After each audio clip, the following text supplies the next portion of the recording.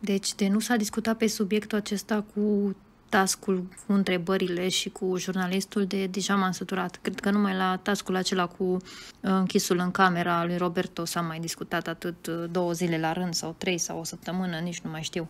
Pentru că, într-adevăr, și de data aceasta, doar uh, cei care au fost vizați cumva, deranjați de aceste întrebări s-au agitat și era clar că Irina și Antonio vor pune întrebările astfel încât să fie deranjați. Era absolut uh, clar că nu vor fi puse întrebări uh, legate de frumusețea vieții, ci lucruri care, într-adevăr, să-i deranjeze, să-i tachineze, să-i pună cumva într-o dificultate.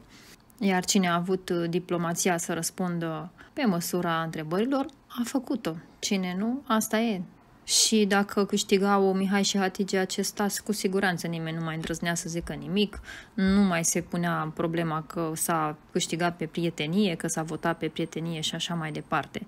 Oricum, Cătălina și Vlad sunt cei care de obicei nu câștigau niciun tas tocmai pentru că ei nu prea îndrăzneau oricum să reproșeze anumite lucruri sau să spună că n-a fost corect, n-a fost cinstit, așa că ei tot timpul erau lăsați pe din afară. Acum, dacă mai nou se ține cont și de ei în uh, tascuri, iarăși nu e bine.